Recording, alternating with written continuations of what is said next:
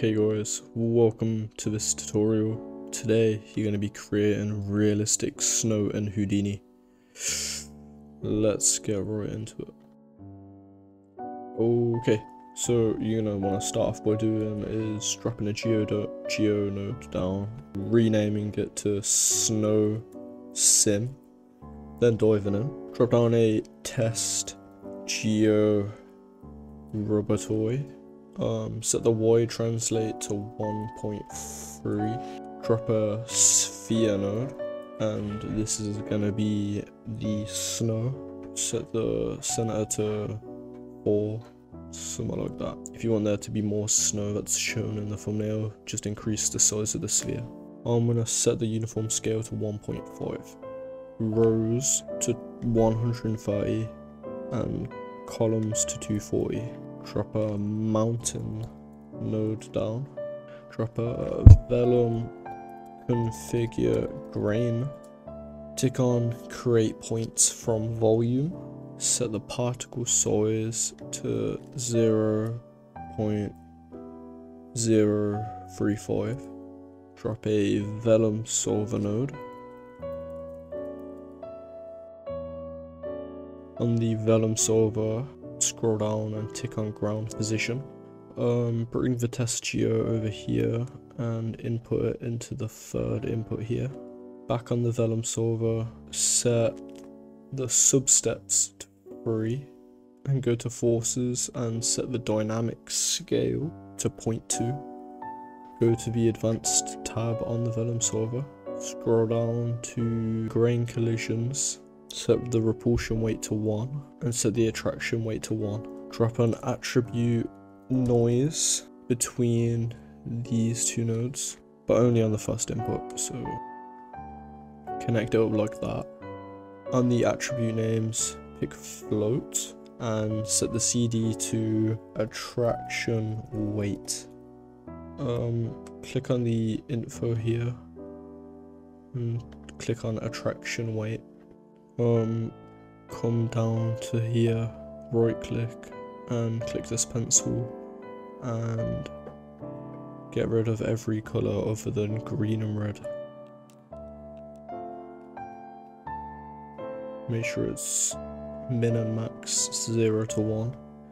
Then close this, click D in the viewport on geometry, display particles as points on the attribute noise. Set the amplitude to 6 and the range values to min and max. Scroll down to element size and set it to 0.1 uh, on the range values it was supposed to be zero centered. Sorry about that scroll down to post process and tick on minimum and maximum and then just turn off this little icon here. Um, come up here and drop down a VDB from polygons. Connect the left input to the mountain and tick off distance and turn on fog. Drop a scatter node and make that visible but set force total count to 6 then drop down a copy to points node and connect the right input to the scatter. Duplicate your sphere node here by holding down alt and dragging. And bring it down to the left input of the copy to points node.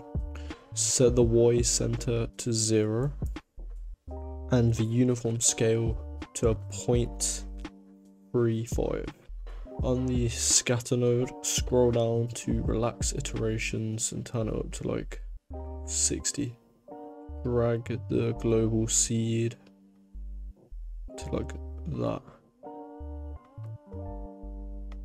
Drop down an attribute, randomize between the scatter and the copy to points node change the attribute name to p scale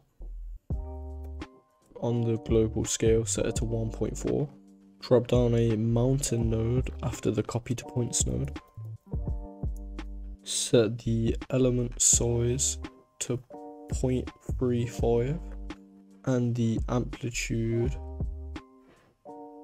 to 0.05. After the mountain node, drop down a points from volume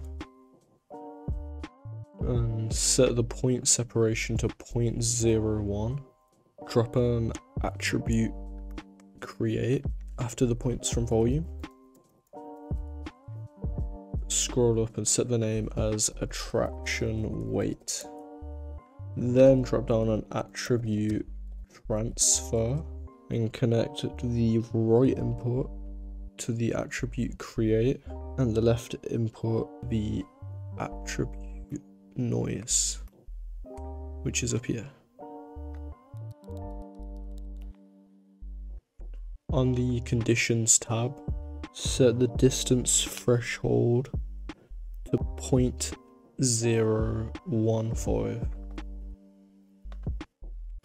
and on the attribute create scroll down and make sure this value is set to 1 um come up to the vellum constraints grain and set it to 0.015 um on the left input of the vellum solver drop down an attribute delete node.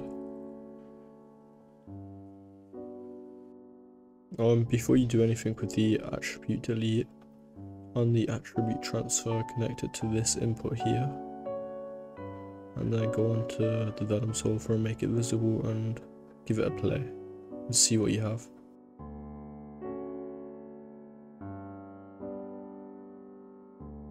Back on the attribute delete node, type in star, then this little icon, and then p scale.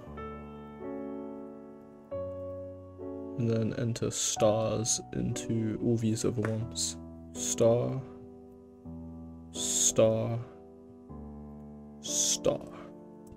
And you should have something like this. Uh, I'm gonna go click D in the viewport on geometry points, set it to pixels. Then drop down a file cache node and file path explicit. Then um, I'm gonna go to D draw and just copy that text there. Click X and at the start just do that. Then save to disk. Okay i'm gonna interrupt it at like 130 frames because i don't want that much. Um and so if you play it through it should just play through nicely. I'm gonna set the frame limit to 130 or 129 let's see Okay. Drop down a null. Just make it visible. then come out. Make that invisible. Then drop down a geo. And this is gonna be a snow render. And then dive in. And then uh, bring in an object merge node. Click here, go into snow sim and find your null and accept. Drop down an attribute create node. Name it density.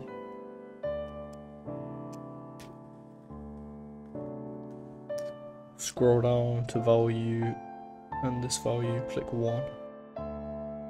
And so just make sure this value here on attribute create is 1. Then drop down a volume rasterize attribute. Make sure you spell it right though. And on attributes, pick density. You should have something looking like that. Set the voxel size to 0.015. Then drop a VDB combine node. Um, on the drop down menu here, set that as density and then the A multiplier to minus 1. Then drop a VDB analysis node. The output name to custom name and set the custom name to gradient. Then drop down a merge node and combine VDB analysis and the volume plus rasterize attributes and that's what you gotta do. Then we're gonna go to the material palette, scroll down, look for basic basic white liquid and that's it.